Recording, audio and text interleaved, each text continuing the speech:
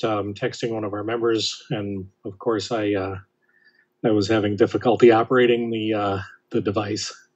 Um, and hang on, I just got a text back from that one member. Ah, good. You'll be joining us very shortly. But I see we have a quorum of members present. Um, we have Dr. Taylor and Joanne Becerra. Um, we have two other members that are not yet uh, signed into our virtual meeting, but we have a um, uh, associate, uh, at least you know, two, both uh, associate members present. So, and I see Mr. Conaby has just dialed in. So uh, we now have four of five members. Uh, and I would like to open the meeting by reading a script from the town about conducting virtual meetings. Um, if we don't have the fifth member uh, present, then we will ask one of the associates to fill in for the um, absent member. So, uh, good evening. This is an open meeting of the Board of Health. It's being conducted remotely, consistent with the governor's executive order. Due to the current state of emergency in the Commonwealth and the local state of emergency um, declared by the Board of Selectmen and by our board, the Board of Health, due to the outbreak of the COVID 19 virus. In order to mitigate transmission of the virus, the selectmen have suspended all public gatherings in accordance with the governor's order, and all public bodies are encouraged to participate remotely. The governor's order allows public bodies to meet entirely remotely so long as reasonable public access is afforded so that the public can follow along with the deliberations of the and board votes taken at the meeting. Ensuring public access does not ensure public participation. This meeting may be uh, may incorporate public participation. Um, I would anticipate it would, but um, and for this meeting, we are convening via the Zoom application as well as a telephone dial-in as posted on the meeting agenda on the town's website calendar, identifying how the public may join. Please note that this meeting is, uh-oh. I'm not sure if that was you or me, Dave, but there we go. um, the uh, the meeting is being recorded, and some are all attendees are participating via video conference. Please be aware that other people may not be able to see you may be able to see you and that anything you broadcast may be captured by the recording. Uh, all of the materials for this meeting uh, are available in the public DocuShare folder, and we recommend the members and the public follow the agenda as posted as the chair notes, unless the chair notes otherwise. Um, meeting ground rules, we'll open with the first item on the agenda. Um, I will introduce the speakers ask them to address the item. I'll go down the line of members, inviting them to provide comment. And um, further, please remember to mute your phone or computer when you're not speaking. Please remember to speak clearly and in a way that helps generate accurate minutes. For any response, please wait until the chair leads the floor to you and state your name before speaking. Members wish to engage in colloquially colloquy with other members Here's a $2 word. Please do so through the chair, taking care to identify yourself. Um, and for items of public comment, after members have spoken, the chair may afford public comment as follows. Chair will first ask members of the public who wish to speak to identify their names and addresses and will be afforded um, a limited opportunity for comment or question. It suggests three minutes. We tend to be a little less formal, but you know, please remember that um, you know perhaps many people wish to speak, and we need to make sure that everyone gets an opportunity. Um, also, because we're not live, most votes will be taken by roll call, so apologize for the additional delay that um, that incorporates. Okay, I've reached the end of the script. I do not see our member, Mr. Cruz. Mr. Cruz, if you're on the line, please speak up. Okay, I do not hear Mr. Cruz. Um, last time Dr. Jacoby was our alternate. I believe this time then uh, Dr. Singh should be our alternate member if that's acceptable to you, Doctors Jacoby and Singh. That's fine with me. That's, that's fine. Good. Very good. So Rico will be um, voting for Mike tonight. Um, So the first item on the aden- agenda, as has been our practice for the last several meetings, is an op- update on the current pandemic and other uh, pressing matters in town. So Cheryl, the floor is yours. Hi, good evening, everybody. Um, so the first, um, items I'm going to discuss are the Governor Baker's, um, updates, just a few key points that have happened in the last couple days. Um, so a couple things that, um, he noted was we're starting to see a downward trend in confirmed COVID-19 cases, and he also believes that the surge is behind us.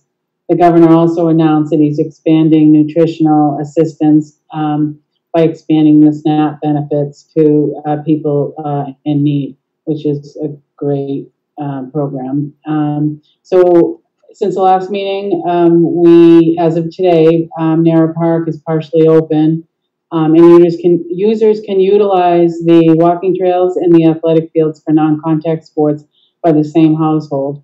The rec department's currently working on a phased reopening of other parts. So the reopening plan um, that will probably come next uh, will be the opening of the bathhouse, uh, which is where the uh, bathroom facilities are, and the beach um, as soon as safety pro- protocols can be met and staff can be put in place.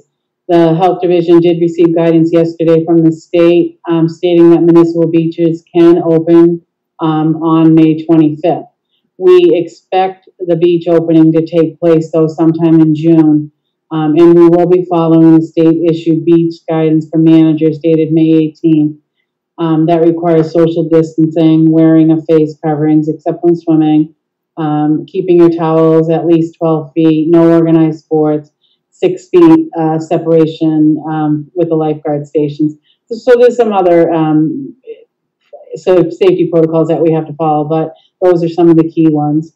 Um, so last night, the Board of Selectmen met and they voted um, to fund a residential rental, rental assistance program in the form of grants to eligible households to maintain housing during this pandemic with demonstration of need and if qualifications are met.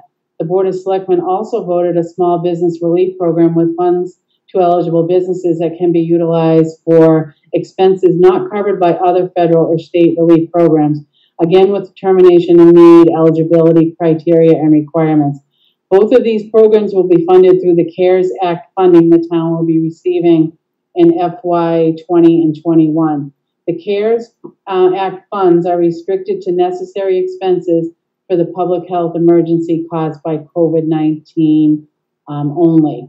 So, um, in addition, the Board of Selectmen also um, discussed allowing temporary outdoor seating to allow um, restaurants to be able to create the outdoor seating um, so they can be in compliance, hopefully, with the next uh, order that the governor does by lifting the restrictions of uh, eating in a restaurant. And we're suspecting that maybe those will be outdoor seating only. So um, the Board of Health took care of that last night for us. That's all I have, Bill.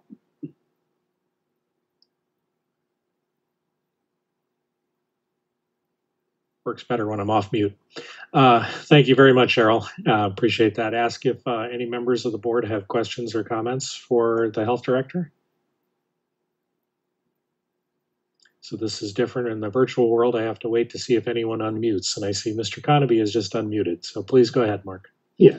Quick question, do we need to do anything at this meeting or in the future meetings regarding the outdoor seating for the restaurants, or can that be done administratively by the department? Um, so the way, the way it works typically is, um, we don't, um, not allow outdoor seating. I mean, we being the health division, so, um, as long as they're not in excess of their allowed seat count. So, um, you know, I don't foresee, um, bringing this back to the board unless you'd like us to.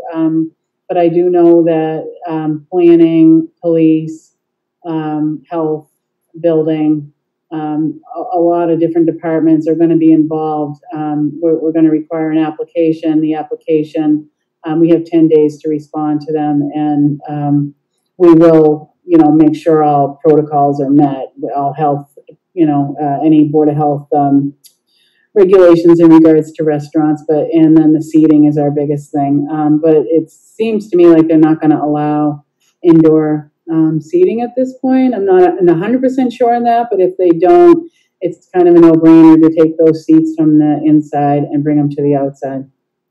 So Cheryl, this is a, so perhaps a trivial question, but how about restrooms?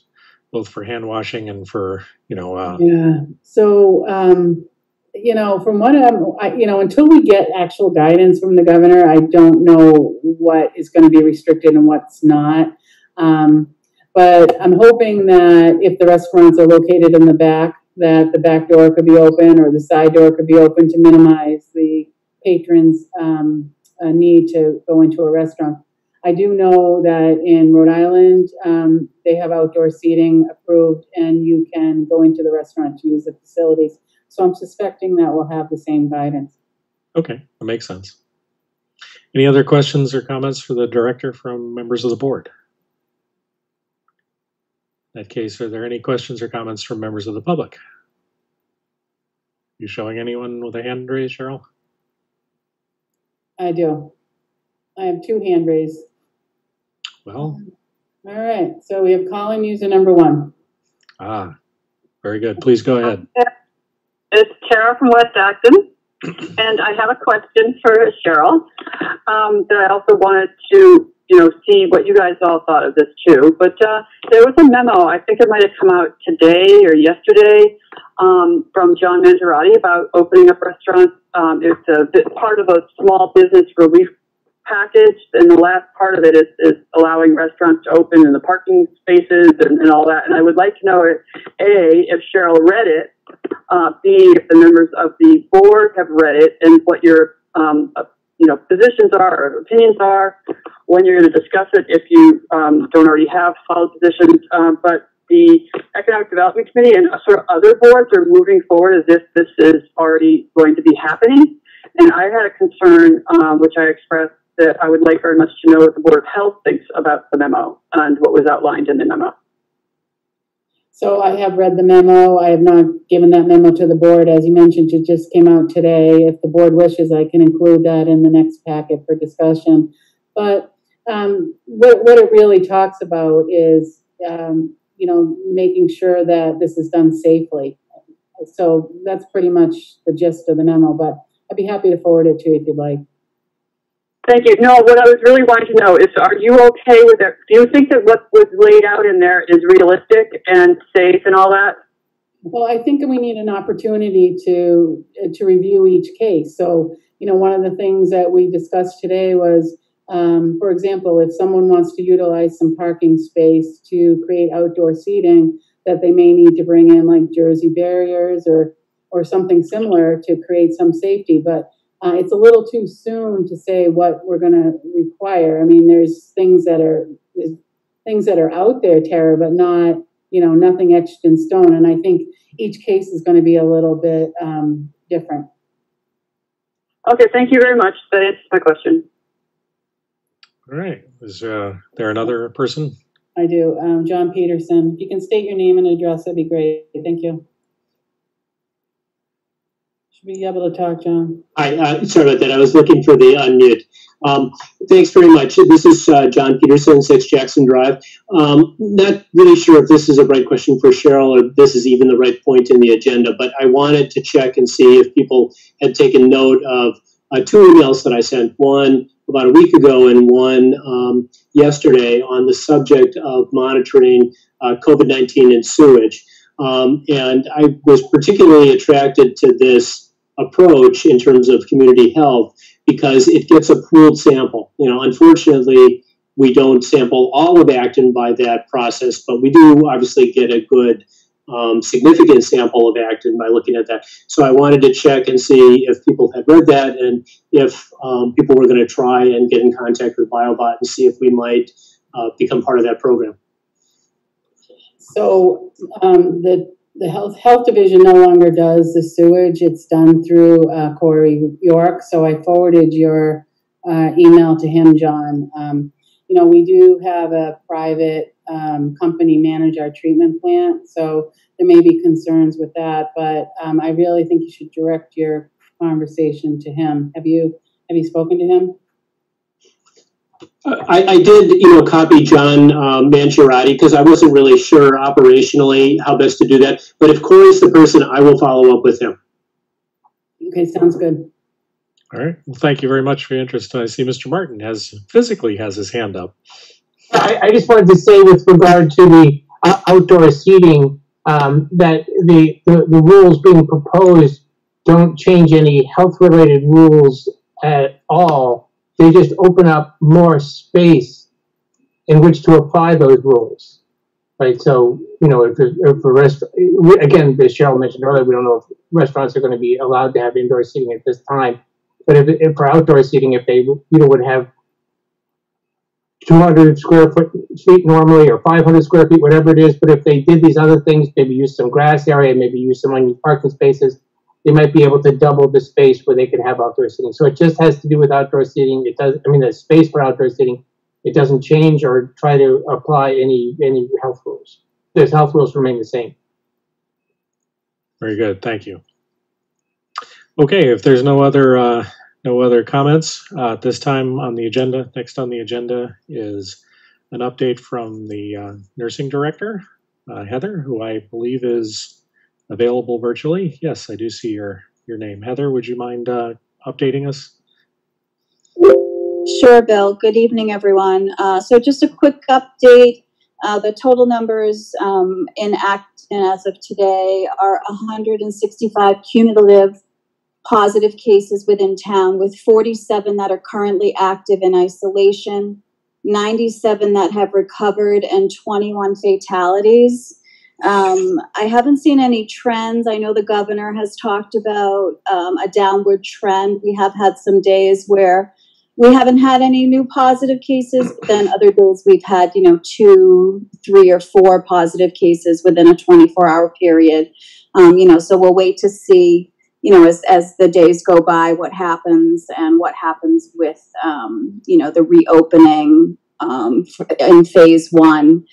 Um, the updated numbers for benchmark the Inn at Robbinsbrook um, currently they have 10 residents overall that have had uh, COVID 19, six staff, um, and they last week had been um, a resident within the memory impaired unit had gone to the hospital for other reasons other than COVID symptoms, but going to the ER, they did test this resident, and the resident did come back positive. So they reached out to uh, the National Guard, and the whole building was tested again for a second time. They've done that already in the past. Um, and only four residents tested positive, and none of them were symptomatic. Um, they've all been isolated. Um, there were two staff members that uh, were recognized also as new positives, also without symptoms, and they are in isolation. Um, so they did a good job with following up on having those folks tested pretty quickly. And the numbers for Life Care of Acton overall, they have had 63 residents um, test positive in the last um, however many weeks this has been. I've lost track. 21 staff members. The good news is they've moved 20 of those residents off of isolation in the last week and a half um, which is great news, who have recovered. Uh, they've also not had, knock on wood, any new symptomatic residents or positive residents in, I think, seven days, which is great news. Um, so they're doing a really good job over there. And I know that Chris Foy was on um, last Monday's meeting, I believe, with an update from there. Um, other than that, you know, we're following the guidelines per the governor, um, working with, of course, Cheryl and her department, as well as um, management about, you know, working to get the staff back into town buildings um, and, and, and, you know, weaning back from the virtual side of things on a, on a slow level per the governor's guidance. Um, other than that, I think I think that's really all that's new for me. Okay, well, thank you. I mean, uh, uh, at least you um, you have seen some days where we've seen a downward trend, and hopefully that will become a much more consistent pattern. Um, Hopefully, I was just curious. The CDC announced some statistics this past week, and I was just curious how close they correlated with Acton. Uh, one, it said that 50% of the deaths occurred in congregate living facilities. Was it is that close to Acton's experience or different? I think we're, I think our percentage is a little higher, but I say that with caution just for the fact of some residents that ended up in the hospital, we don't always get what the outcome is. They have either been um, transferred to a rehab facility after their hospitalization, they could still be in the hospital, or eh, of course, there could have been a fatality, and, and we don't get all of those numbers. So I do say that with caution. Um, but yes, as of now, the numbers that I have um, do show the um, congregate living is the higher percentage, unfortunately. Yeah, well, it uh, I guess it's instructive. Should we ever have a second wave, we know a little bit more about what to do. The, the other one, and I think I know the answer to this, but CDC reported, and this surprised me, that the mortality or the the death rate from COVID nineteen, based on their uh, statistics, is a quarter of a percent, so 0.26 percent. Is that of the you know, in other words, of the positive cases, 0.26% of them were turned into fatalities. Is that close to Acton's statistics, or are we better or worse? You know, I'd have to do that number to be honest with you. Okay, But like I said, I don't have the total number of fatalities because I don't always get all of that information, unfortunately. no worries. Last question, just in this, um, I will make sure that I I preamble it by saying seriously, when you get a chance and get a breather from all of the current activities, there are reports that toward the end of this year there might be a vaccine available at some point. I don't have any basis to believe that is true or not true, but but being uh, you know thoughtful or or um, uh, trying to plan ahead. At some point, well, like I say, when you get a breather, we might want to talk about what the protocol would be, what um, assistance you would need from the Board of Health, what assistance you might need from the Select Board. Um, how would we actually go about this? What facilities might you need? Whatever, whatever uh, you know, we can put in place so that that when that day comes, I- I'm on a meeting. uh, Mr. Peterson, I think you're also off mute. Oh, sorry. Um, so anyway, when that day comes, that perhaps uh, you know we we already have a plan that we've had a chance to give some uh, some thought to. So, like I said, please don't make that a priority because I know you're completely occupied at the moment. No, it's a really good to think about that ahead of time. I mean, I'm already thinking about um, flu season. You know, we've already ordered flu vaccine. You know, the planning of how we're going to do that again um, will really be determined by this pandemic.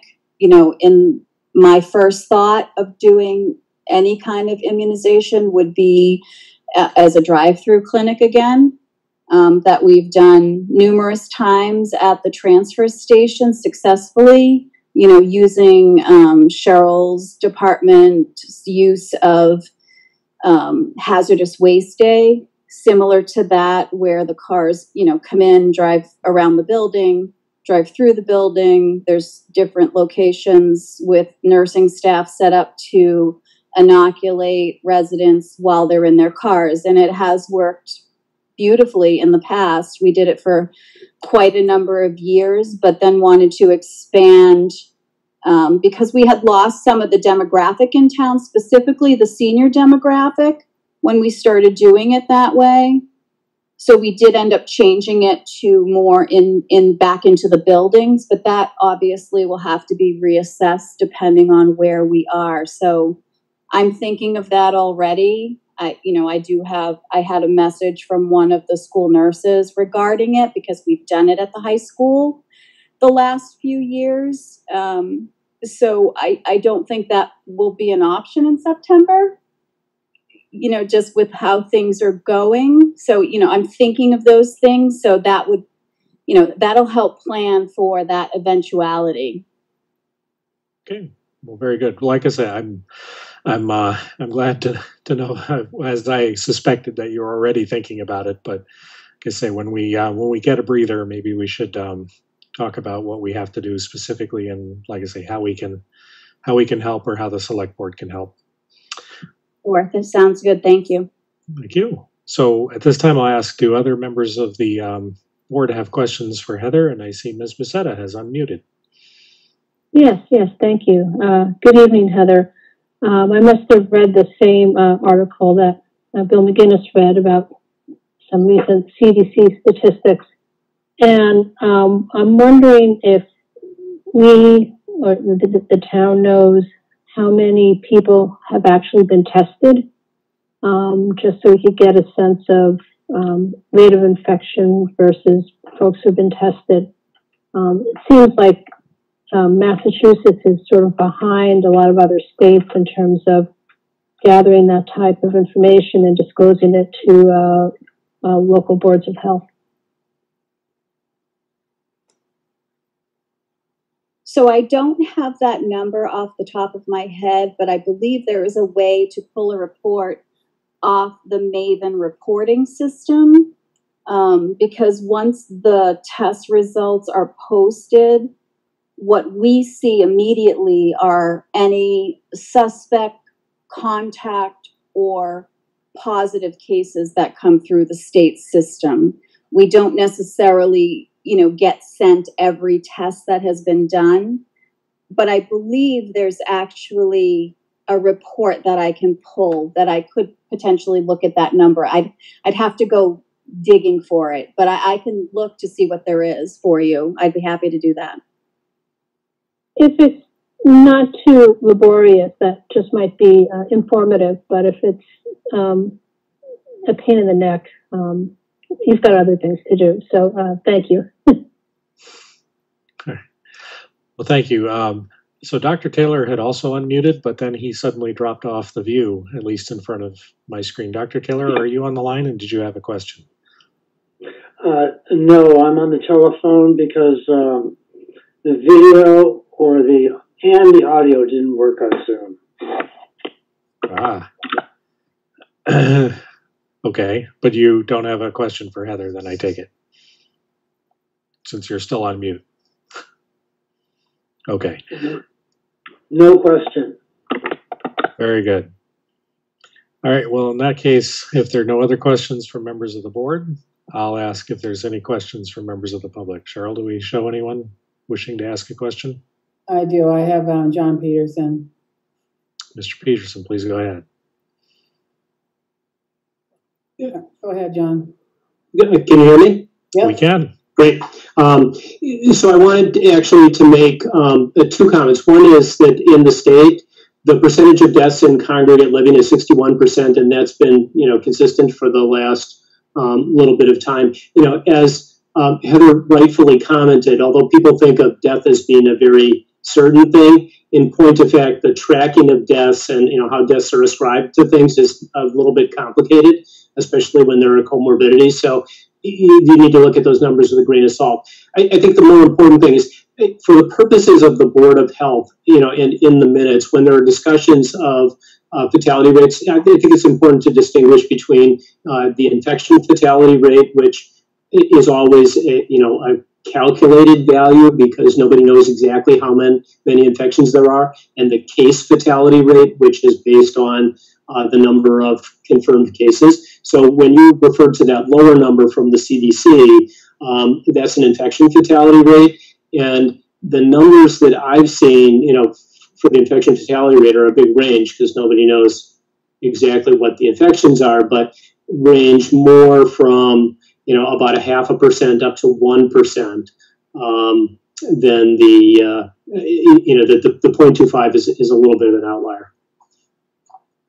You make a good point, Mr. Peterson. I was just uh, looking to see what the, our local experience was compared to what was reported as a national experience, and I realize that you know the statistics are are not um, uh, perfect or crisp. So, um, yes, all all such data should be carefully interpreted and before we draw conclusions, we should examine it carefully. However, I do think there is one conclusion, which is I said if, if we're faced with a second wave, we should be mindful of, and that is the congregate living facilities do seem to have a particularly difficult time.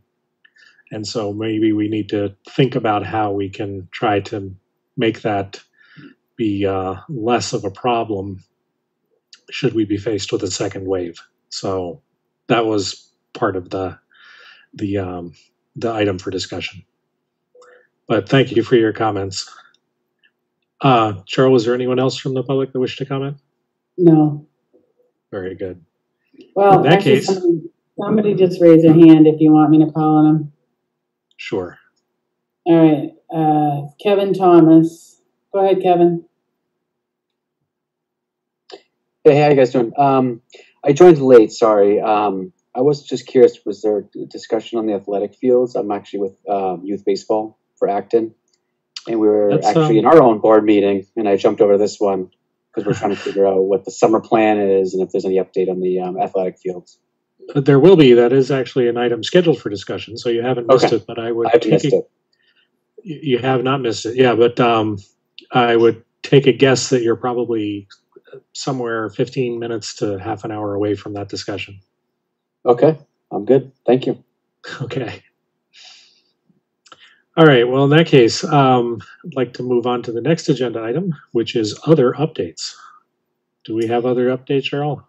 No, in, in actuality, I should have put that at the end, but I put the other things, uh, before it, but I don't have any other updates. Okay, very good. Then that brings us to the breaching beaver trapping permit for 693 Mass Ave. Right, so this is a request from the Acton Water District. Um, we've seen this request in years past. Um, what's happening now is the, the beavers are damming the culvert, which is causing water to back up, um, close to the district's well fields on Mass Ave. So the health department's recommending issuance, um, of this permit due to that public health threat. Okay, very good. Very good. Um, usual questions. Does the district have a uh, trapper in mind? Sorry, they Okay. do. I, I muted myself. Very good. Uh, questions from members of the board? Are they looking for both a breaching and trapping permit, since it only says trapping on the agenda? Uh, yeah, sorry, I should have put both.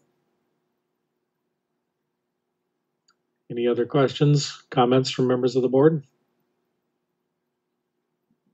In that case, anyone wish to uh, make a motion to um, uh, move this item? So moved. Very good. Thank you, Mr. Conoby. Is there a second? Second, Thank you, Ms. Becerra. We have a motion made and seconded to issue the uh, beaver trapping permit in accordance with the uh, Health Department's permit. I'll uh, take a roll call vote. Uh, Let's see, all those in favor, please say aye, and I will start with Ms. Becerra. Aye. Very good. Dr. Singh, Aye. Mr. Conaby, Aye. and Dr. Taylor. Aye. And I also vote aye. Motion carries unanimously. Very good.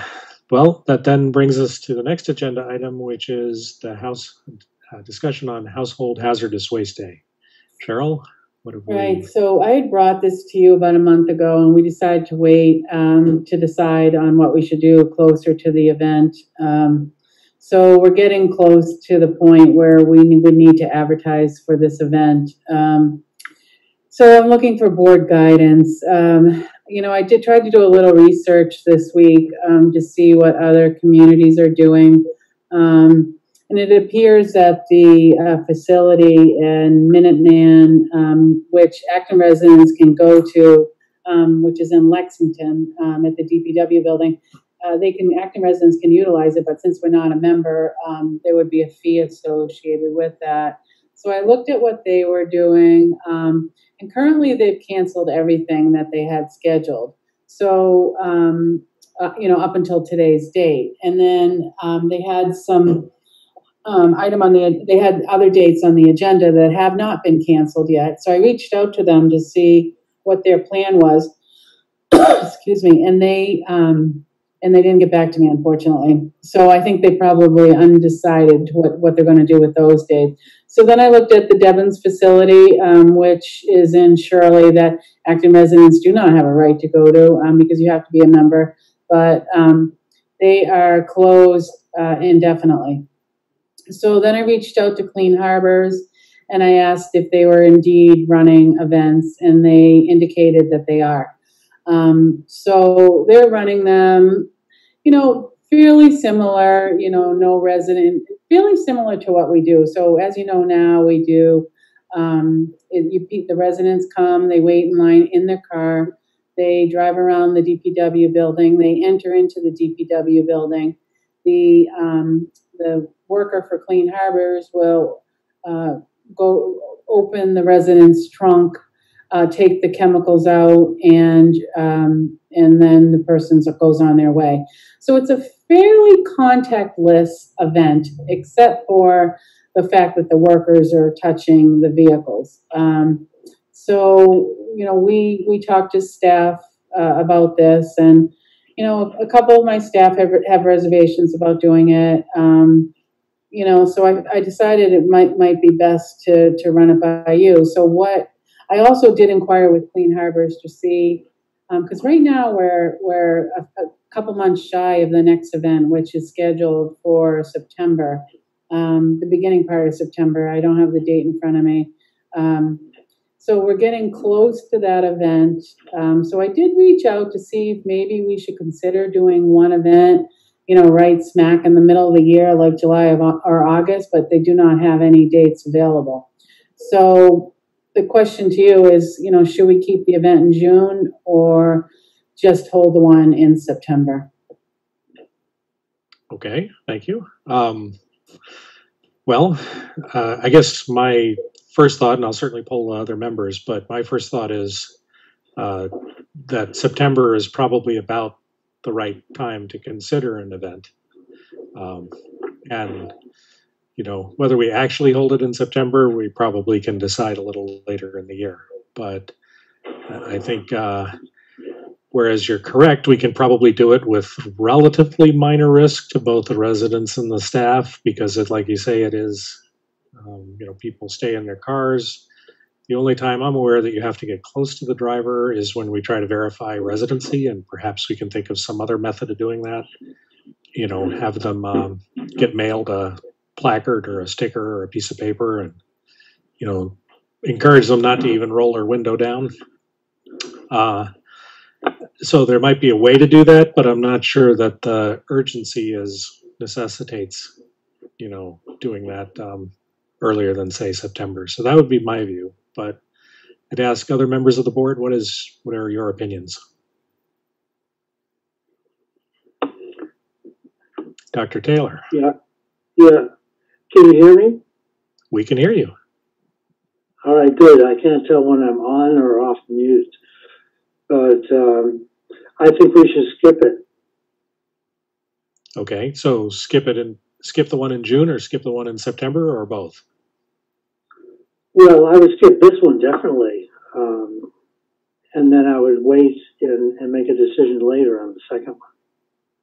Okay, very good. Any other members wish to comment? Mr. Conaby? Yeah, I concur. I mean, we're still at a safer at home advisory, and it doesn't sound like it is going to be that easy to get the logistics within the time frame. I think we probably have to do reservations and things like that that try to space people out. But you know, we still have restrictions at the transfer station and safe at home advisory, so it seems prudent at this time to uh, consolidate it towards the fall. Very good, thank you. Other comments from members of the board? Dr. Jacoby? Yeah, the- yeah, yes, but, um, I agree with postponing it. I mean, theory, in theory, you could get it going in, in June, but then would anybody show up is questionable. So, um, I think holding on to your hazardous waste for another couple of months is not all that serious a hardship. So I would say let's do it in September. Very good, thank you. Other uh, comments? So Cheryl, I think um, it sounds like we have a fairly uh, coalesced or unanimous consensus that certainly um, cancel the one in June and sometime, I'll say around July, we should probably consider whether we wish to go forward with the one in September. That provide the uh, information you were looking for? Yes, that's perfect. Thank you. All right, well, thank you. So that does bring us to the next, the uh, discussion of uh, tennis courts and athletic fields. Mr. Thomas, you're now in, on time. But um, I'd open with asking Cheryl if she'd please introduce the topic and give us the latest guidance from the state. So, um, we did get, um, we did get guidance. Um, we, we had, there was a conference call today, um, that we got guidance and, um, the guidance was, you know, um, the, the, the topic of the conversation today was more, um, the difference between private and public and what's allowed to be open. So since our last meeting, um, we received guidance that said, no, they can't be open. And then we received guidance that said they could be open. So um, I, I did question the state. Um, I had a couple of our tennis organizations also pose a question and everybody received the same answer. So um, we, we have had some guidance um, that suggested that it was only for use among um, uh, same household, similar to what we did in NARA. Um, but um, today's talk did not um, does not address that. It was basically tennis is open, phase one. Um, my only um, reservation that I have now is, um, you know, if you look at the phase guidance from the governor, the reopening plan, um, he has some uh, youth programs listed out. I think in, uh, I forget if it's phase, I think it's phase three. Sorry, I don't have that in front of me. But um, so I've asked for clarification just on like youth tennis programs because since it's clearly outlined in another um, document that says that that should be a different phase, I do have clarification on that. But for now, um, I've I've spoken with um, Erin Betez from the school, um, uh, community ed, uh, who manages those uh, courts at the the school-owned ones, and then um, our rec director. And our rec director, as you can see in the packet, um, is, is recommending that we follow um, the guidance, the parks, the parks guidance that, um, uh, that the parks and open space guidance that, that you've all seen before. I don't think I included it in today's packet, but it's the same guidance where we open NARA Park. Um, and it, and, and I feel confident that um, the state is now allowing tennis to be open, even though it was such a back and forth for a while. Um, and, and the rec director, um, both Erin Betez and the rec director have discussed maybe scheduling just to just try to prevent people from congregating at the fields. And there are conditions that they have to meet, as she suggested in um, in her guidance, um, and those are taken directly from the state's um, guidance for opening parks and, and athletic fields and and recreation. So I also um, put a slash athletic fields on this uh, agenda topic because uh, agen- um, athletic fields are pretty clearly also state that they can be open, and again without um, without having to be in the same household, which is what we've what we've um, voted for NARA.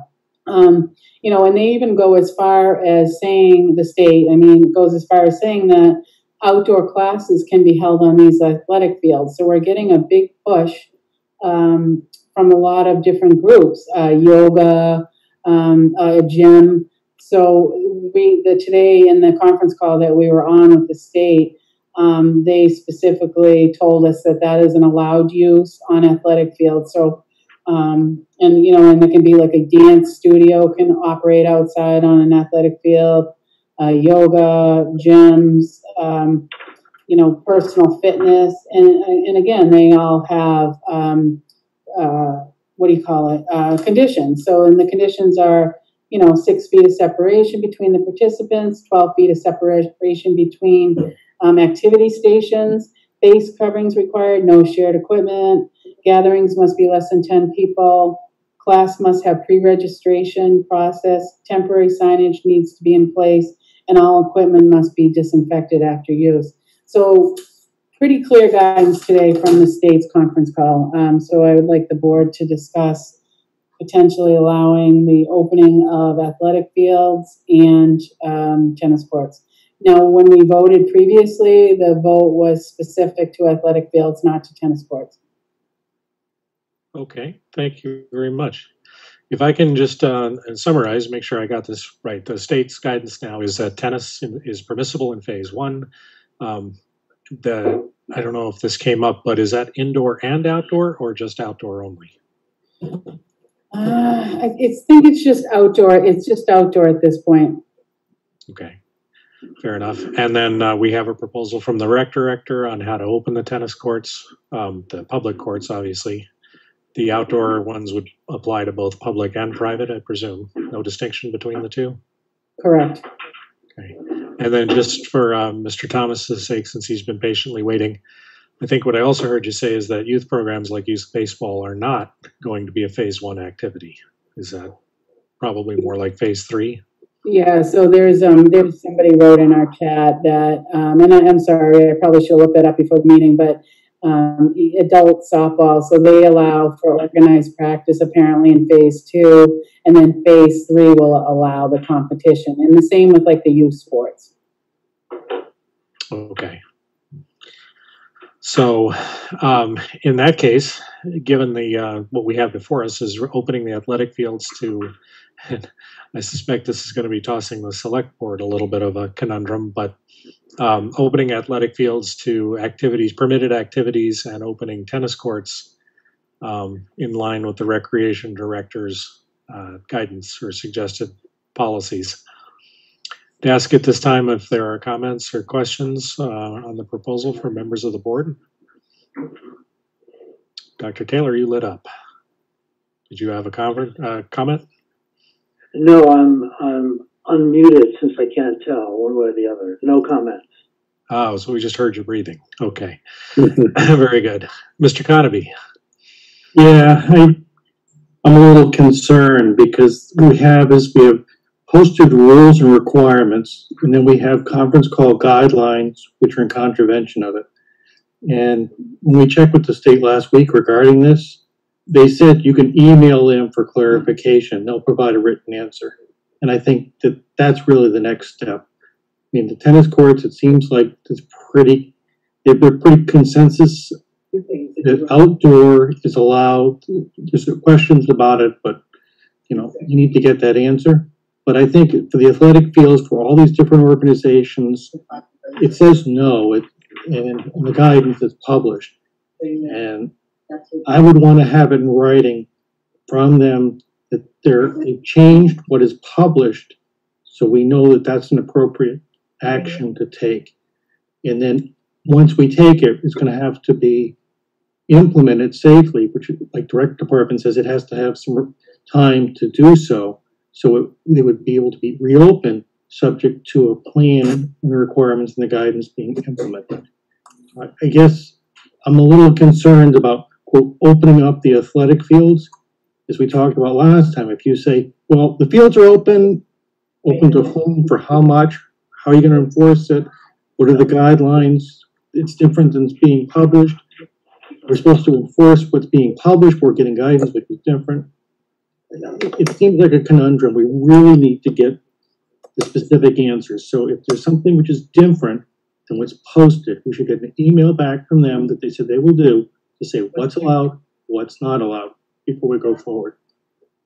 okay, thank you, Mark. Cheryl, did you have any uh, thing to add to that, or do you have any? No, uh, I think the conversation, the conference call today was basically because people were emailing them and they decided to address it in our daily call. Um, so I feel confident that I can get that in writing, um, if, if that's what the board wishes. Um, I did email, um, I did, I did use email today, um, but I didn't get a response back before the meeting. But my question was more, um, it did cover the whole gamut of what I just talked about, but my question to them more was about the youth programs for the tennis.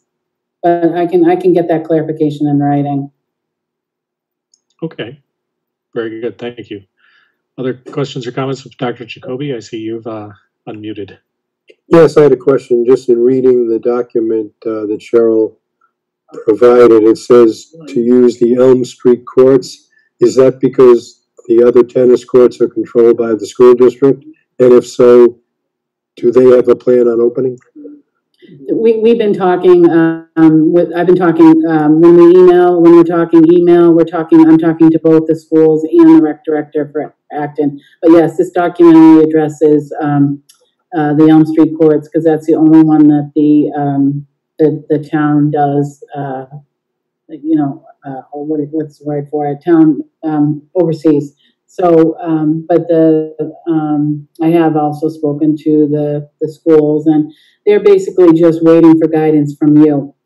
So they're, they're on board with opening, um, they just, I'm waiting for the guidance. Okay, very good, thank you. Uh, Anyone else wish to make a comment? Okay, um, Joanne, Actually, sorry, I have a question just based on that last statement. So, um, assuming that, um, we, uh, affirm, um, the opening of outdoor tennis courts with the conditions noted by the recreation director, we can, um, then, um, allow the tennis courts under the school district's jurisdiction the same, or do we have to vote on that separately? Or have something in writing? I guess it's just more of a process question. well, I would, I would uh, anticipate, uh, Joanne, that if we, um, we made a Board of Health policy, that that would be applicable to any of the town organizations. Um, So I, I would think we could do it with one vote. That would be my suggestion. Bill, isn't there some management involved in this? Taking reservations, oversight, supervision? Can I, the town handle that? well, that's, that's probably a question that, um, that we're not prepared to answer, but, I mean, Cheryl, did that come up at all?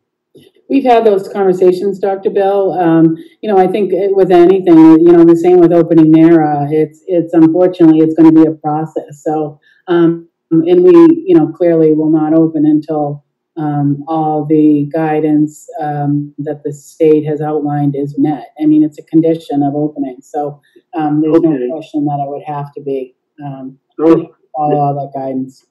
thank you, uh, Cheryl, thanks.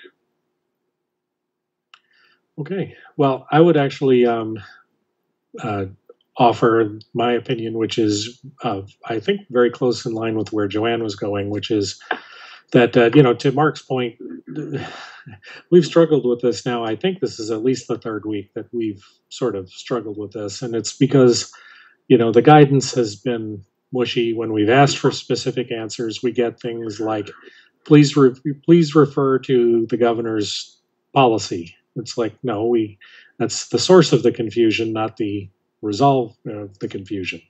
So, um, so I, I certainly understand that. I guess what I would suggest is, you know, subject to explicit confirmation that of what Cheryl said is the state's guidance.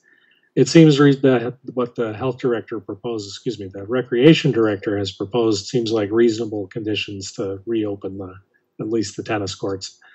Um, so that would be my suggestion. Um, but obviously, it would be up to a member to um, to move that forward should they wish to. So moved. Thank you, Ms. Becerra. Is there a second?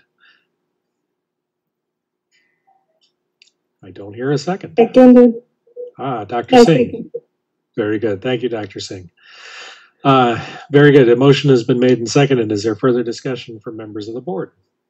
Bill, by your motion, you're saying that it would be, so we'd have written confirmation that it is an allowed uh, activity from the state as part of this phase to allow the recreation department to move forward to open it, subject to its ability and guidelines. Is that correct? That is correct. Thank you. Um, okay, uh, Cheryl asked if there's any comments or, from the members of the public. Um, I'll look in one second, but can I just ask one question? Is this in regards to both tennis and the athletic fields or just tennis? Uh, well, the re- rec director's guidance, I believe, is specific to tennis. It. So, um, perhaps what we would like is a similar plan for the other activities.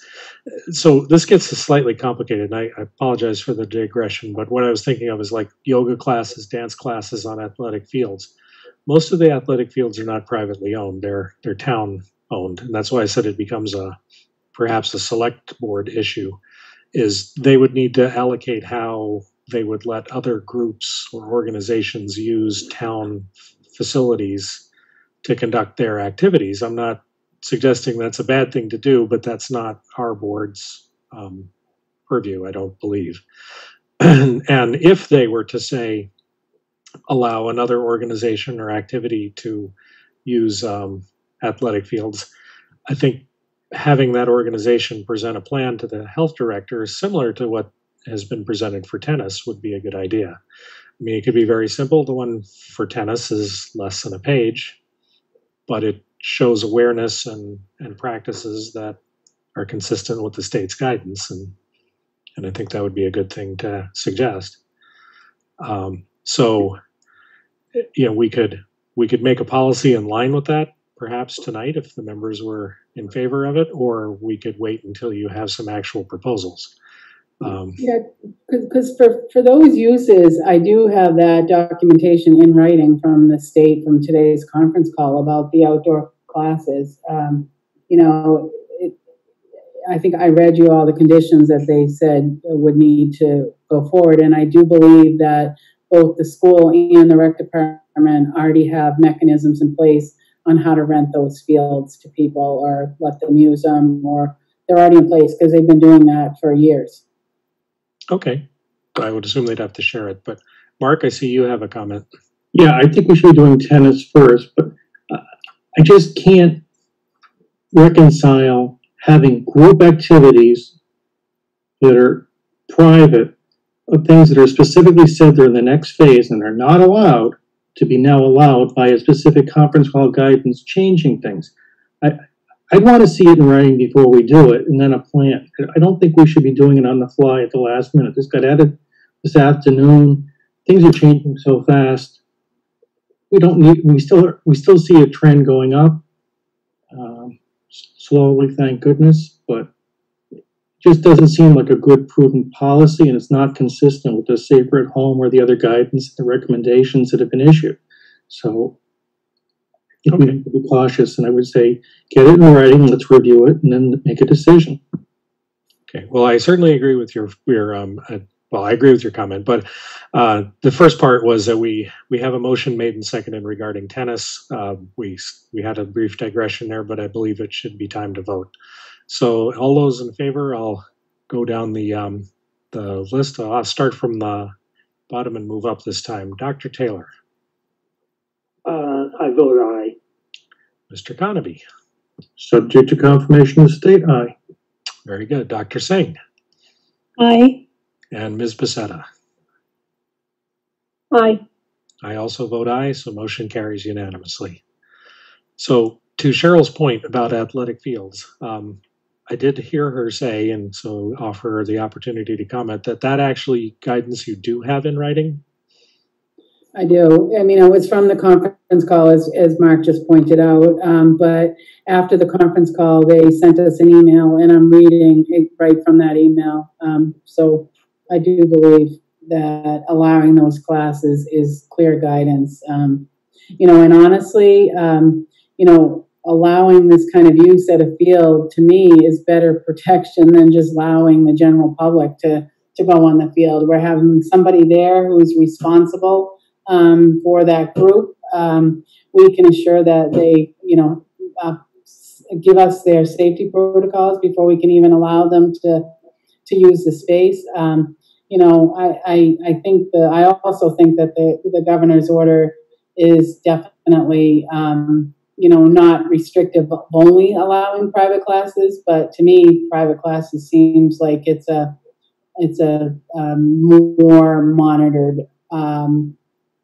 you know, uh, you know, um, program than, than just allowing, you know, uh, uh, residents of one street to go onto the athletic fields, right?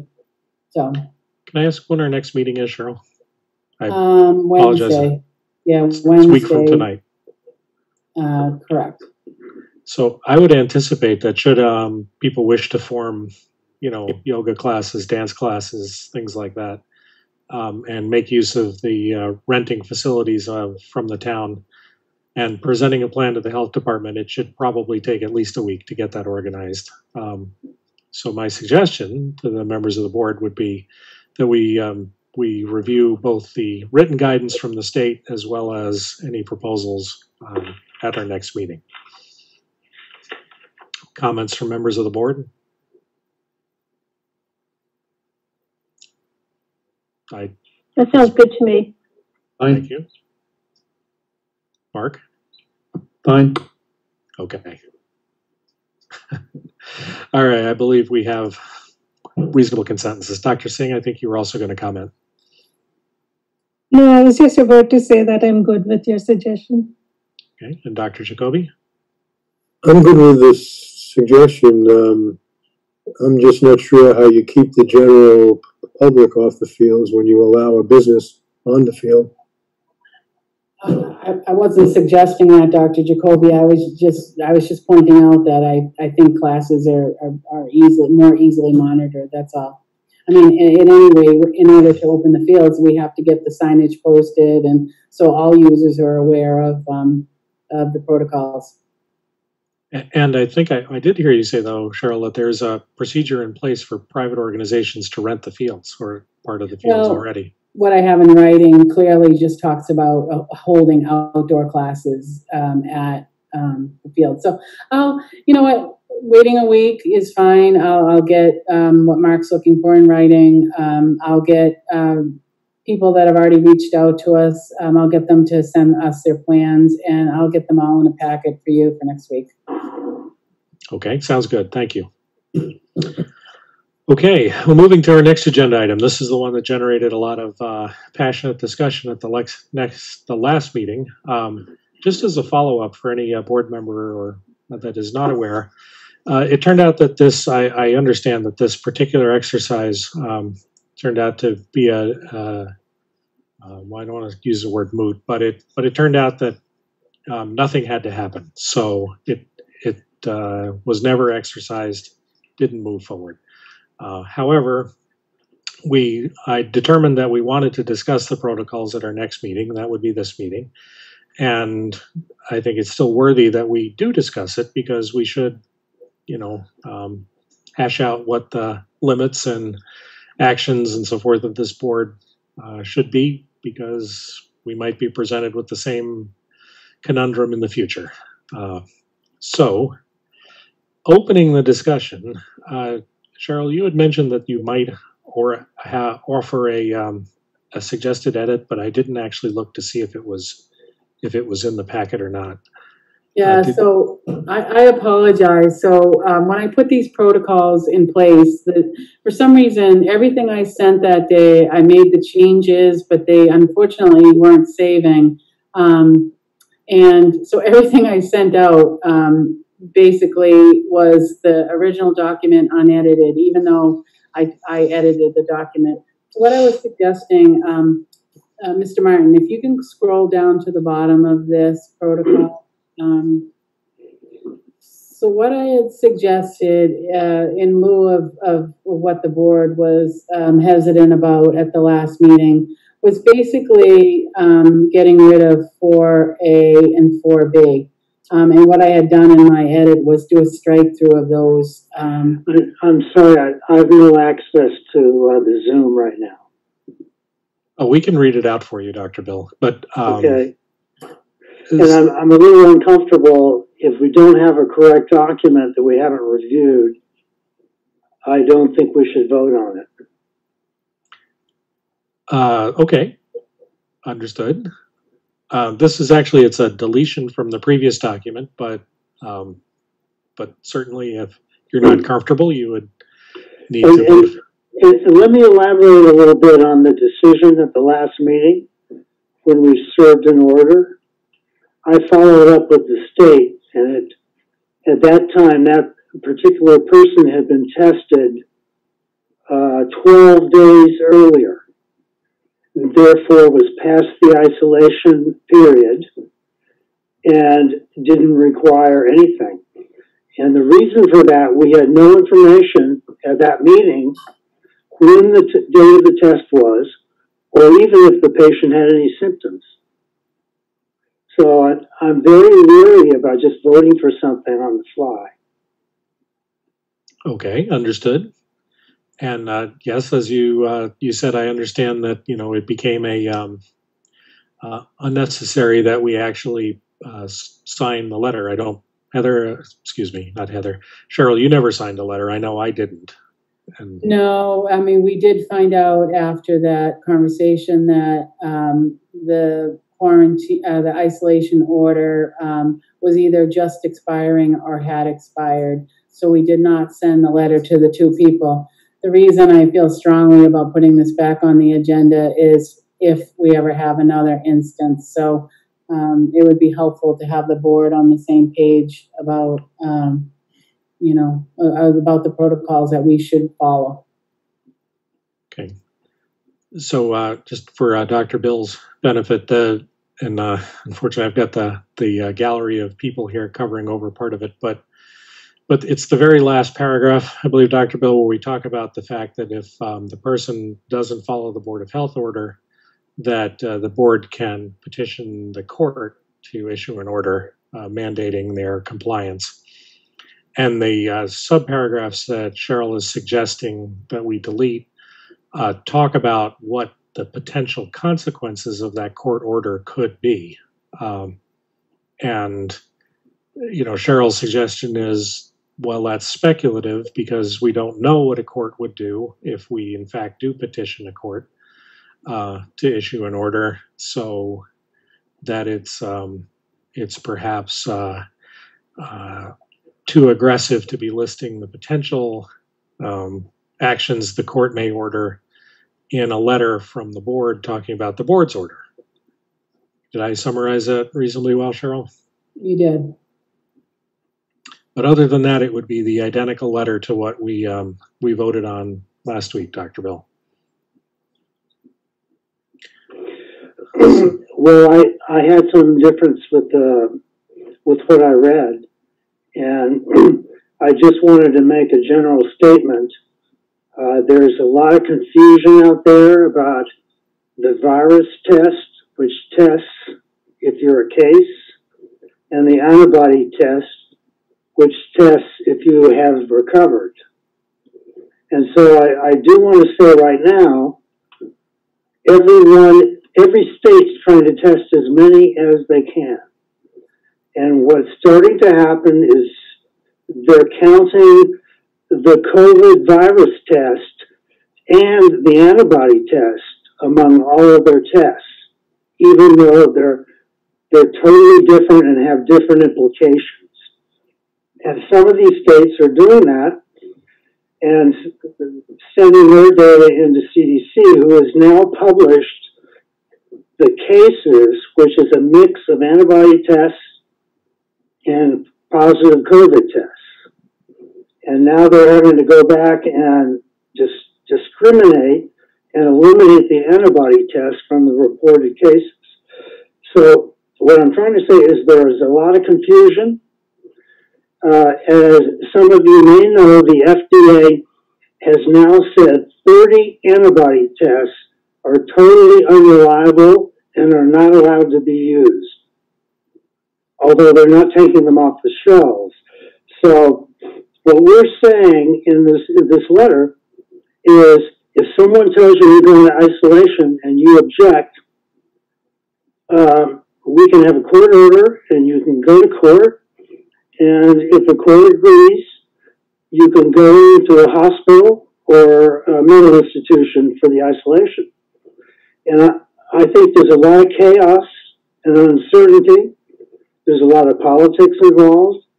And I think we would be wiser to have a court order saying you have to get a test. So, uh, Dr. Bill, I just offer, I mean, I, I agree with you. That's was the comment I was making last time, which is, you know, uh, I, I uh, had w- saw several charts from the state, and they they agree that this is a difficult situation. The antibody tests are are um, put them in a in a difficult spot. Um, the person could be infectious. They don't know. Consequently, you have to treat them as infectious. But they say, No, you don't. well, You know, that is, No, no, no, wait a second. Wait, let me comment on this. You know, we have a pandemic. There's a lot of unknown. It's a new virus. We don't know the characteristics. People are arguing that people could be carriers and never develop symptoms and infect everyone. That appears not to be true, although you can have pre-symptomatic spread. And what I'm saying is there are a lot of tests out there that have now been withdrawn. And earlier, the governor, the governor said the doctors should be ordering the virus test and the antibody test. If the antibody test alone, they should test for the virus as well. Now, unfortunately, the doctors don't have any control over testing. People can get any test they desire. So I'm very uncomfortable with committing someone for 10 days to an institution for an antibody test, which has a low probability of infection, very low. Probably about in the same league as you're picking it up on um, a calendar or something, very low. And I think as a group, uh, I, I would comment, the CDC is a federal organization, but when it comes down to enforcement, they make it very clear on their website. That's up to the state.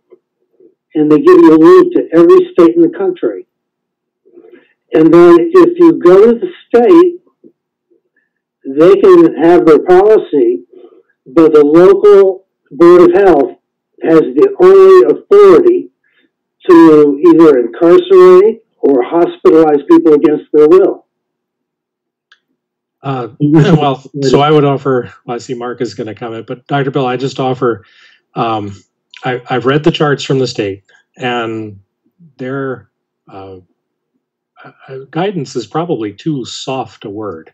Their direction is that if there is a positive antibody test, they are be treated as infectious unless they get a PCR test. And if the PCR test is negative, then they're negative. Everyone goes about their business. And which is what you, what you See, that's what said. I, that, that's what I think the order should be. That's So the order is they need to get the COVID virus test. And if that's positive, they need to isolate. Right. That, as I mentioned last time, several times, is the easy out that apparently these two individuals. That's individuals. not good enough. I am not willing to hospitalize someone against their will.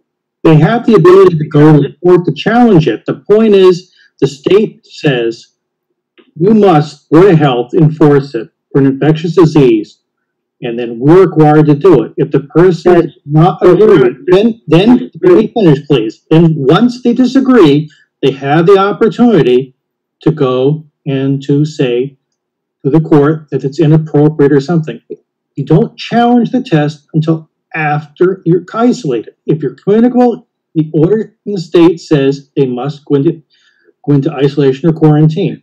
That's the requirement. You have to be. I would, I would like a required written by law to enforce it. We don't want to go into what the test results are. That's for DPH and the court.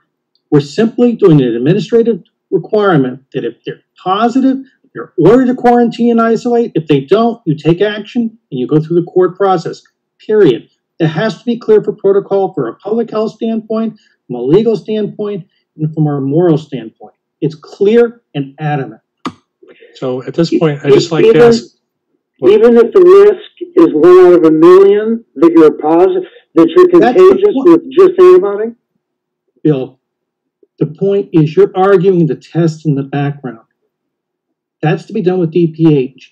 If somebody says, oh, they, this would be the same protocol for isolation quarantine, whether it would be for tuberculosis or COVID or yeah, we for do not more. SARS or for Ebola. It's the same point. You isolate and then challenge it. You don't challenge it and then weigh it out and say, oh, I told you so. You need to take the action you do it through the legal process. You don't just say, I disagree, so I'm not doing it. You that that is just civil disobedience and it's lawless. It's not appropriate. So at this point, I'd just like to suggest well, maybe we should hear from uh, the director of the nursing service. Heather, do you wish to make a comment? Hi, sure, I can absolutely make a comment. Um, so this guidance that Nina Pickering Cook had put together in a letter um, with the protocol is directly from the state website. I can send you the Superior Court Rules and Administrative Director number 20 1, the protocols governing actions. Um, I'm happy to send that, but I'd like to make a comment. So, this isn't just about the serology, this is about people refusing to isolate when they are considered by the state and by testing a positive case. I have two positive PCR tested clients right now who are refusing isolation, as well as two additional serology who are refusing isolation and refusing phone calls. This is not about driving to someone's house and putting them in jail. It is about sending a formal letter based on state guidance and directives to say you have to do self isolation. If you don't, it then goes through the court process. No one gets arrested, no one gets put into a mental institution. It is guidance per the State Department of Public Health, and, and that is exactly what Nina went through. So, for someone to say who's a positive PCR, I'm not going to isolate, then my I hands agree. are tied with them also. But with No. serology, I'm sorry, I'm going to finish. With serology, the positive test with no other information, but also with previous testing that was greater than 14 days prior to serology testing, they are considered a positive per the state epidemiologist I have spoken with four times since last week. And the guidance that went out on May 22nd from uh, the epidemiologist department, specifically Hillary Johnson and Scott Troppy. And this is based on the director's decision to make that serology reported as a positive case and has to be isolated unless they get a negative PCR. All of these things are explained when we call people. Each test, sputum, nasal, nasal pharyngeal, and what those testing requirements are, and that they can be done in a 15 minute test.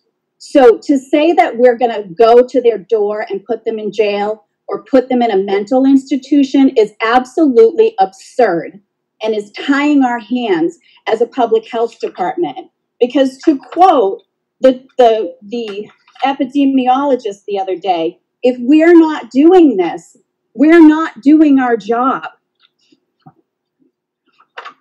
Well, there's a lot of debate about that. I, I don't know that CDC is recommending this action. But but Dr. Bill, But the state is. I was going to say it's I, I guidance. have My job is to follow the state. I'm following the state, period. Well, good, good for you, okay. But Well, in the order, the way I read it before changes, you know, weren't made, it does, it does take them to court, I agree. And if, if the judge agrees with that, the next step is to force them into hospitalization for the isolation. I have no objection about if someone has a, has a PCR test positive, I certainly agree with that it's the antibodies in the gray area. Because if you refuse to get a test, the PCR, I think you ought to get it. But if you don't, what if the antibody was one of those 30 tests that are now off the market? Then they should go get the PCR test, Dr. Bill. They should. Which is why the state is not recommending any antibody testing, any antigen testing, because now the antigen testing is treated the same. The state is not recommending it. If you don't want to be put on isolation, get the PCR test at the same time, or don't get the serology done, because it's not correct. I agree.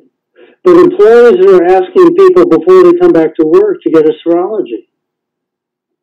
Uh, uh, so, Dr. Bill, again, it's we're not the business, you know, the business organization. There's if we have infectious people in the community that could be threatening the health and potentially the lives of other citizens of Acton, then we need to take action. I think that's what ultimately it comes down to. And if they can prove they're not infectious, then great. They can go about their business and with no interference from us right? I'd love to get out of people's lives, out of their face, so to speak. That's not the goal. But I'll quote the governor of New York, who said one time, We have a public health emergency. Okay, this is a public health order, not a suggestion. Orders are enforced. And that means that we need to, you know, when it's an order, you're infectious, stay home. If you say, to heck with you, I'm not going to do it, then we're going to have to ratchet up the um, the response a little bit. That's my opinion, anyway. Mr. Martin, And so, um, uh, my, my opinion here is a, uh, I think a little bit uh, nuanced be- between these. So I I want, the, the points that I was trying to make last week is right now, this guidance from town counsel is written for the Board of Health. Um, and if the Board of Health wanted to designate someone else um, to be able to make these decisions, Board of Health would have to specifically vote to designate someone um, to, to do that. Um, my opinion, and uh, you know, uh, I, I share some of the same theories of Dr. Bill, is that the, the, the Board of Health, it would be fine if the Board of Health designated the chair to uh, do the earlier steps in this process. This is my opinion, right? The earlier steps in this process, specifically sending the letter. However, when we get to step four, I believe that um, this this guidance, the, the, the, the Board of Health needs to be completely involved um, to take to request that the town manager and the town counsel take legal action. Um, that that that that's my opinion. So I do I strongly feel that the Board of Health should not designate any single individual to do any legal action as outlined in even even in the shortened proposed shortened step four. Um, that that's that's my my main input. I have no problem that if if the the board wants to de- designate someone to uh, specifically the chair uh, to send the the initial letter. Okay, well, thank you for your comments, Mr. Martin. I, I guess I would uh, just offer, unfortunately, you know, if we have someone who is um, is infectious and uh, Dr. Singh or well, actually Dr. Taylor, anyone could comment on this. The um, I think it's called R zero or R naught in the equation, but it's basically how many people you infect when you meet someone when you meet a group. Um, so if you were in a group of ten people, how many of them would walk away with COVID if you were COVID positive? And I believe the R zero on on COVID nineteen is four, meaning if you're if you meet a group of ten, It's about two. oh well, okay, maybe that's So more recent data. And it, it's not entering a group of people. It's over time how many individuals infect other individuals. And with the social distancing, we're down very close to one. And if it goes less than one, then it it it, it collapses. But, Right. but, but, but, but right right now, or when we started, is my understanding, uh, R naught was between two and three. Um, uh, and, and it's over time. It's for the whole time that that person has the infection. How many people would they infect? And obviously, if one, if it's two, which is an uh, easy number to, to, deal with, um, the, it, it, it grows geometrically, right? Each person infects two other person over the time that they have the disease, um, and uh, it explodes. Right, Right. but if they stay home, they infect zero. So Well, that's the goal. so actually, we, we've been doing a lot of staying at, at, at home, and you know, not everybody, I understand, but it's down in the between one and one point five, as I understand now. Um, it depends on the state; it's different for for each state in the country. Um, but but I I think it is extremely dangerous to say that the steps must be taken with no consideration of some of the details. Um, and I think that consideration of the details um, needs to happen. And again, I have no problem with the letter. It'll take someone time to respond to the the letter. That gives the board plenty of time to call an emergency meeting if such a thing is needed. Um, uh, uh, I, I, think it's hugely dangerous to be able to uh, designate an individual to make that call on step four. Oh, that, that's fine, Mr. Mayor. I'll just tell you as, as chair, um, I don't particularly want that awesome responsibility. So that's fine. Uh, I'm only concerned about the timeline. And, you know, if you have, if you have open, um, defiance of an isolation order, then we have lost control, don't know what, uh, the path for infection might be. We need to fix that. And, you know, time is of the essence, as the attorneys say. So. Yes, but, just- but let me comment on that, Bill. Sure, Dr. As Booth. this pandemic moves forward, more information will come available. This policy at the state may change based on new information. Then we'll change.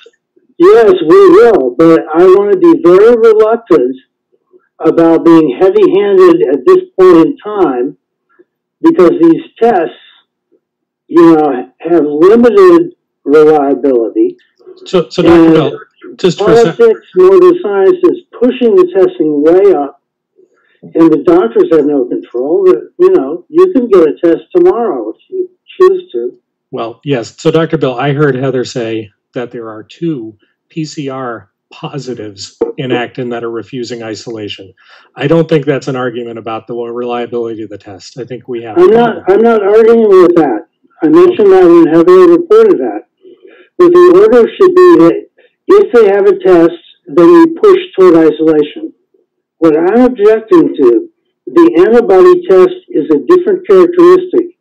It's not, it's related to exposure and recovery and antibody development. I'm really reluctant to push that against someone who's stubborn and requires ultimately uh, hospitalization if he's going to be isolated. Or they get a PCR test. Dr. Singh, I see you've unmuted. Do you have something to add? Yeah, I just wanted to say that uh, the PCR test is confirmatory, but the antibody test is not confirmatory because even if, like, the since it is a novel virus, nobody was infected earlier with this. So as soon as the virus gets inside, or just an epitope, or even a dead virus gets inside, the immune system is going to respond by starting producing antibodies. So antibody test is not confirmatory that the person is infected. But in some cases, there can be virus in the individual, but the immune system is strong, robust, and it is producing antibodies and taking care of all the infected cells. So again, like if the person is PCR positive, then they should definitely be sent the letter for isolation. But for antibody test, uh, we can either just guide them to go for the PCR test. And that you all have already mentioned, and I completely agree with you on that, that the person who is PCR positive should be either going for quarantine by themselves or we can offer them the letter or whatever the next process is. So that's all I wanted to add. because that's the basis for vaccine, because what they are doing for vaccine also, and in the past also. Sometimes they use the dead virus to be injected to initiate the antibody production. Once the antibody uh, bodies are produced, this primary response is produced. This uh, 80% of those cells they die, and 20% go in the memory pool. And when the person is infected with the virus, the secondary pool comes up and starts producing the antibodies against the virus. So I just wanted to add this much. And in the vaccine for coronavirus, also they are using the, the messenger RNA to produce the antibodies in the individual. So when they inject those epitopes, they produce antibodies in the individual. They initiate the primary response. And now, if the individual gets infected with the virus, they would have the cells ready to start producing the antibodies against the virus. Okay, thank you, Dr. Singh.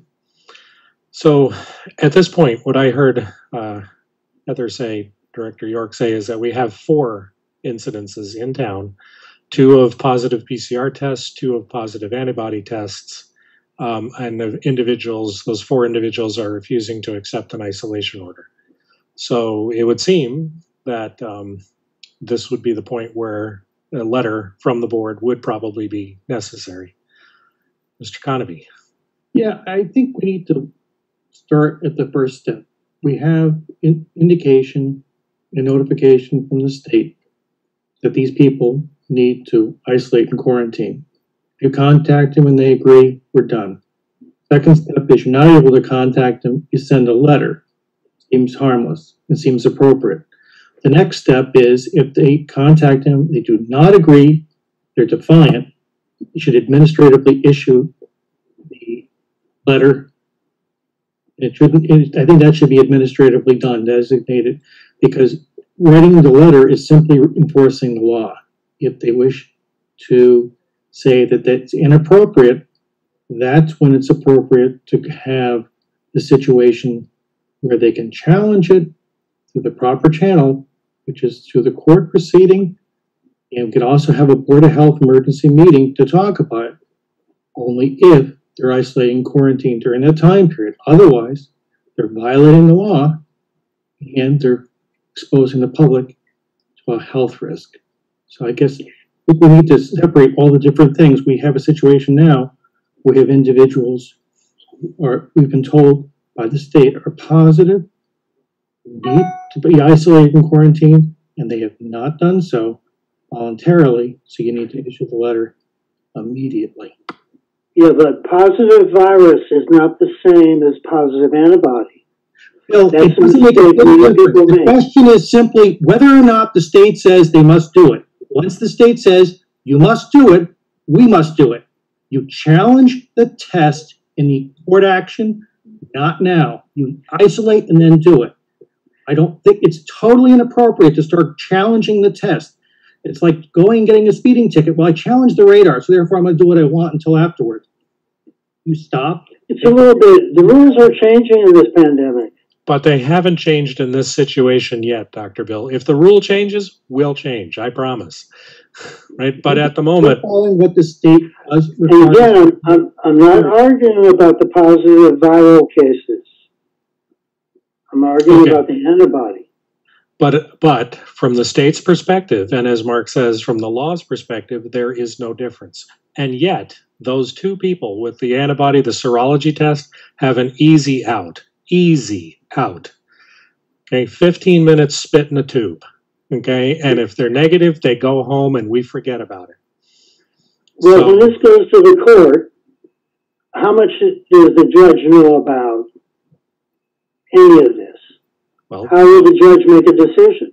the judge, well, again, Dr. Bill, you're straying way off of what the Board of Health's charter is, but I'll just offer the judges in, in any court make decisions about things that they are not experts in. They rely on the attorneys that present the t- case on either side to be the experts and give them expert advice, and then they try to apply the law and make a decision. That's what they do on everything from, you know, assault to speeding tickets. Um, they're not radar engineers, to use Mark's example, but yet they decide who's who's um, correct. Dr. Singh, I see you have also wished to make a comment. Yeah, I just wanted to agree with uh, Mr. Conaby on that because once they are, first of all, why did they have to go for antibody testing if they didn't want to know whether they were positive or negative? And if we are, we are, if the Board of Health is suggesting them to go for the PCR test, then why refuse for the PCR test? They should be going for that if they don't want to go for isolation first.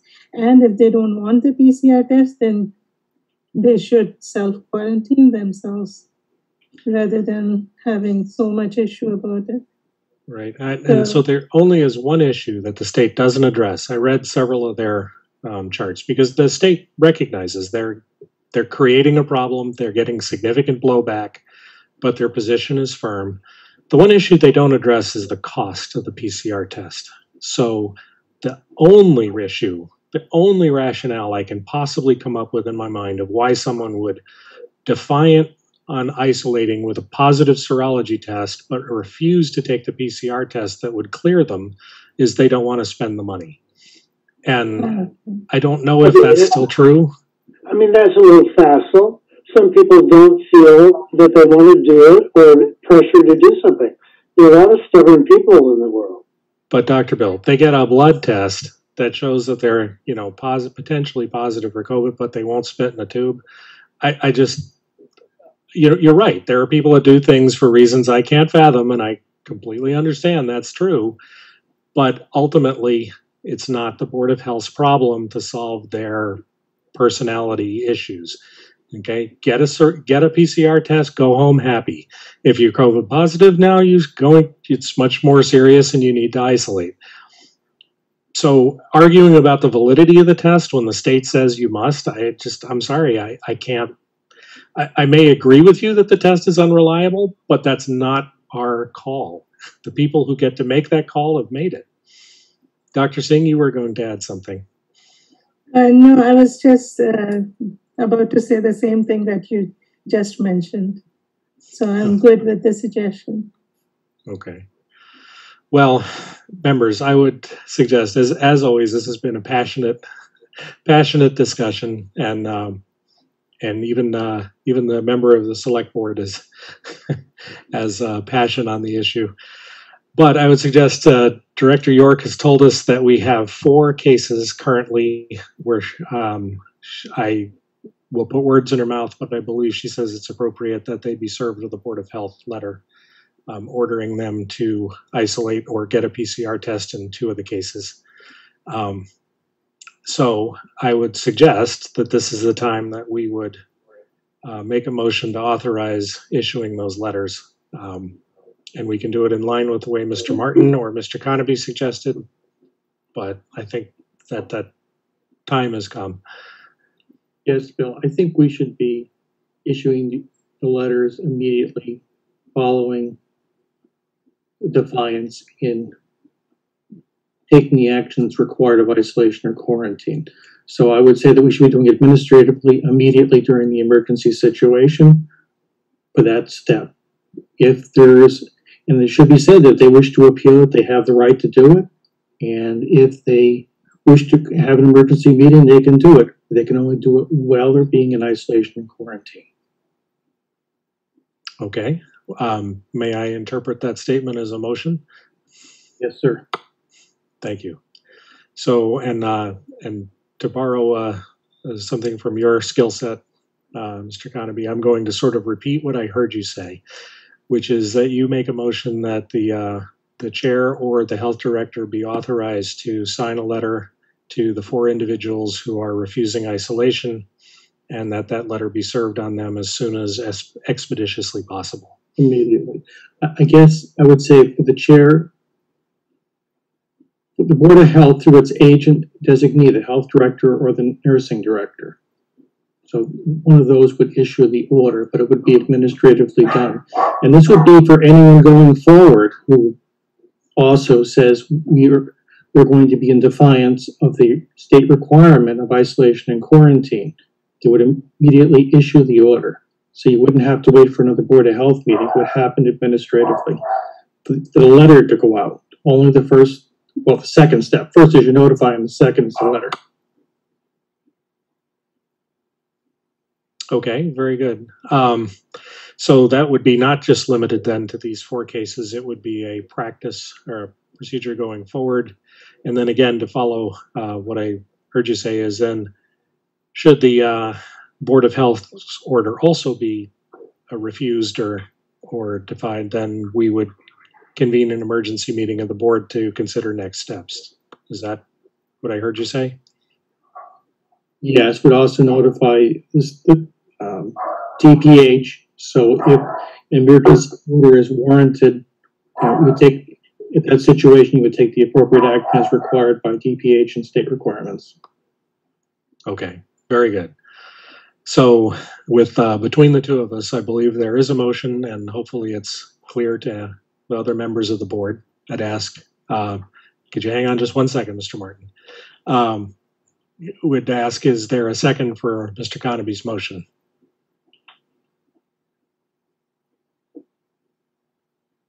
I'll second it.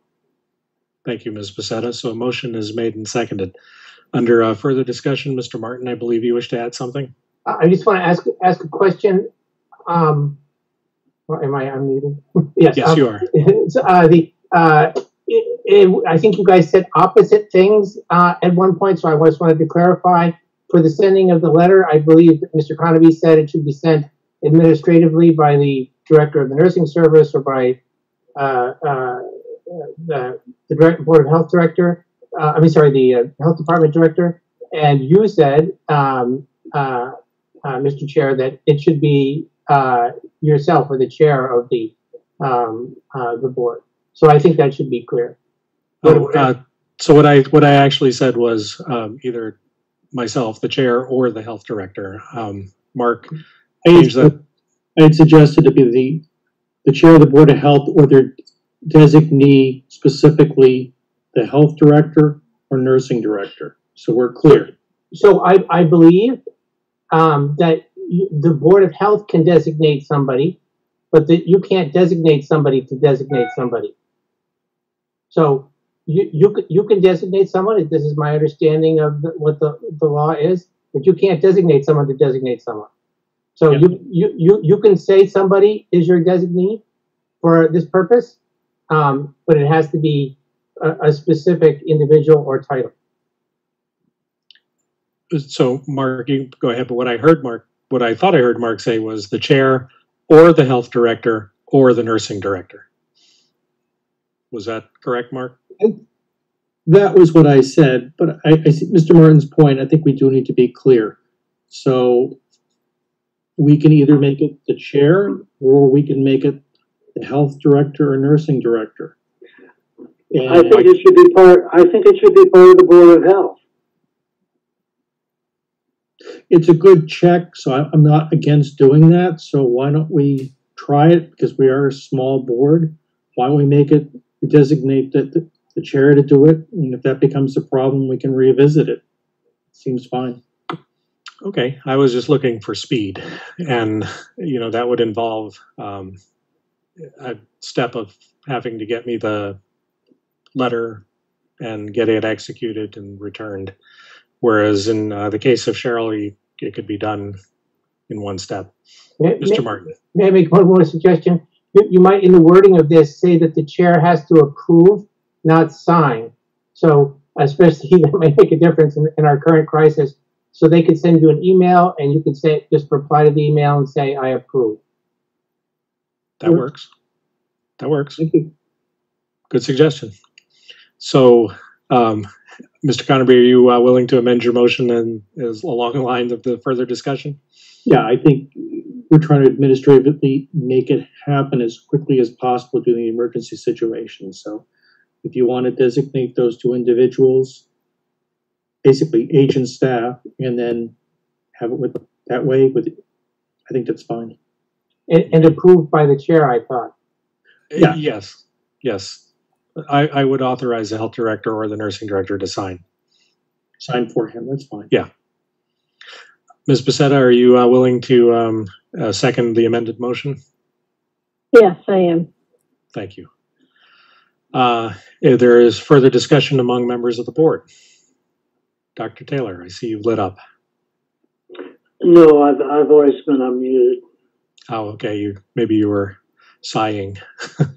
Um, it ma- it's- On Zoom, you lit up. Anyway, um, then in that case, I'd ask, is there any comments or uh, discussion for members of the public?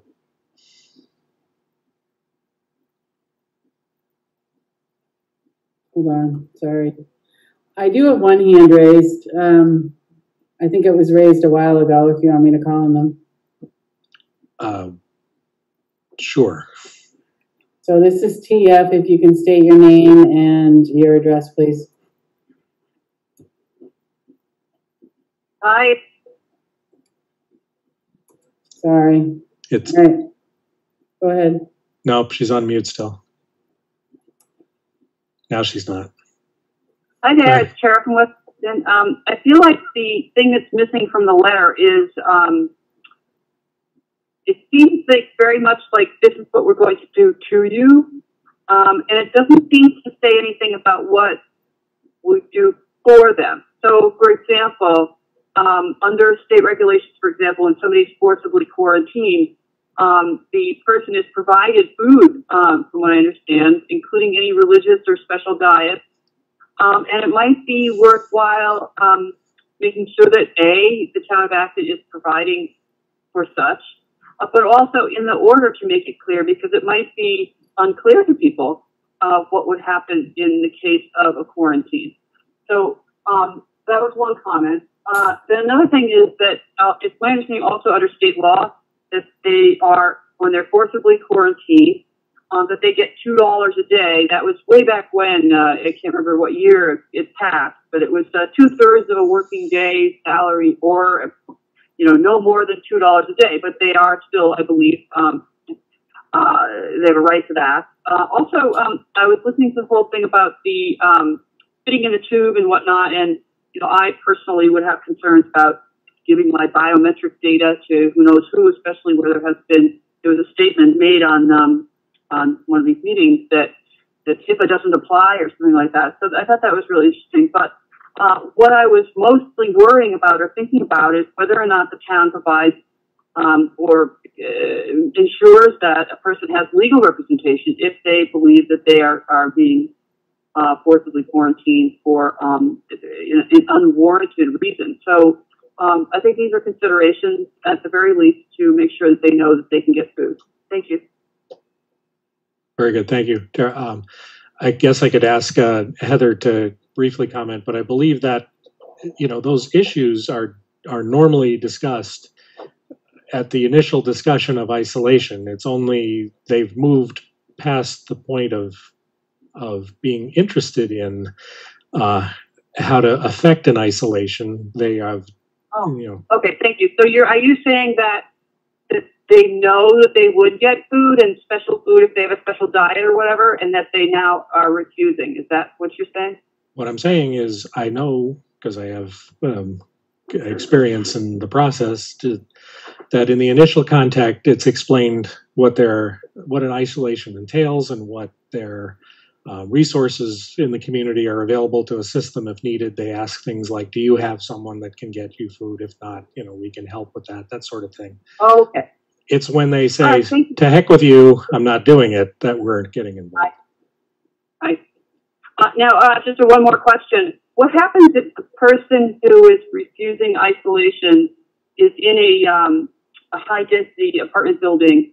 Do the other, um, do, do, people have a right to know? I know that when we were working in the Katrina zones and there were, um, a serious problem with, um, unfortunately, people who had died in their houses and they hadn't been removed yet, they put a big X on the, the, the doors. So people knew that there was, um, you know, contaminated material is what they called it.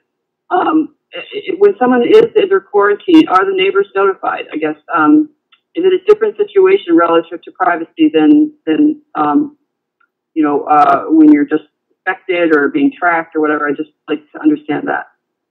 Um, okay, again, I'm not sure that's uh, on point to our particular motion at the moment, but um, I believe the answer is no, they're not uh, publicly identified, but Heather, could, could you just offer a yes or no?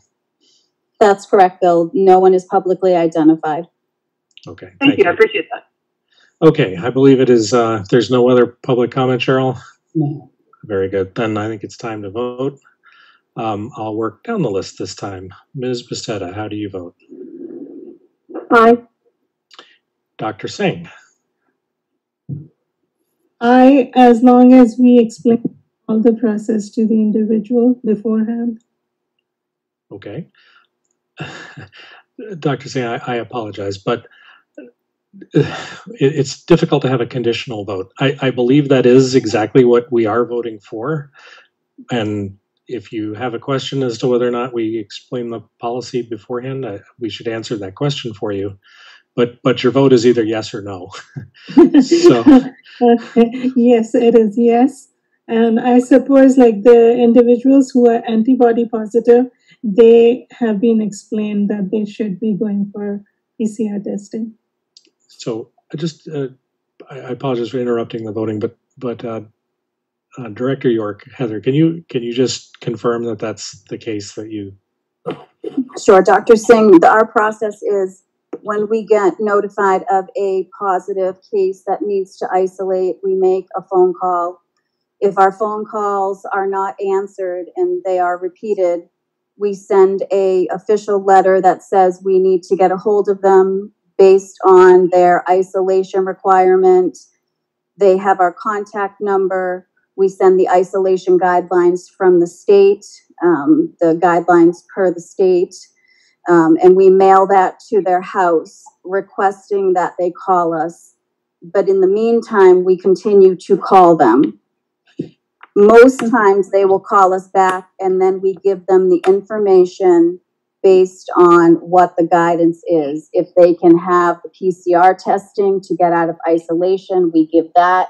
We give information about food resources if they don't have the ability, and we go through all the dates of when they would come off of isolation regarding both of those requirements. Okay, thank you so much. Yes, I do vote aye. very good. Thank you, Dr. Singh. Mr. Conaby Aye. and Dr. Taylor. I voted no. Very good. I uh, vote aye, so motion passes four to one. Okay, thank you again. I'll, uh, I, this is, this is the difficult part of our job. Normally, our job is more, um, y- you know, I'll say in the abstract, it's, it's dealing with things, you know, uh, potential sources of pollution, things like that, where we have time, we have, um, ability of outside resources. This one, I, I have to say, is extremely difficult. I hope, um, I hope we are never forced to take this to the end. Um, I suspect that there's probably some towns in the Commonwealth that have had to do that. Uh, if anyone has any information on on other communities and how they've approached this, that would be helpful to know. But but at least we'll um, we'll start with this step. So, uh, okay, I believe we've concluded this agenda item. Uh, like to then move to the minutes of May 20th. I did have an opportunity to read them. Um, again, I think they're excellent. I have no comments. Ask if any other the members have comments on the minutes of May 20th. No comments? Does anyone wish to make a motion to accept them? So No. moved. Thank you, Mark. And anyone wish to second? Second, Very good, Dr. Singh. Thank you. Motion made and seconded to accept the minutes of May 20th. All those in favor, and I'll go down the order, different direction this time. Ms. Becerra, Aye. Dr. Singh, aye. Doc, uh, Mr. Conaby, Aye. and Dr. Taylor. Aye. Very good. I also vote aye. The uh, minutes are accepted unanimously. Um, I believe this brings us to the end of tonight's agenda. Cheryl, do you have anything else to add? I don't. Very good. Um, in that case, at this time, probably a motion to adjourn would be appropriate. Unless, you know, you're having so much fun, you want to keep going.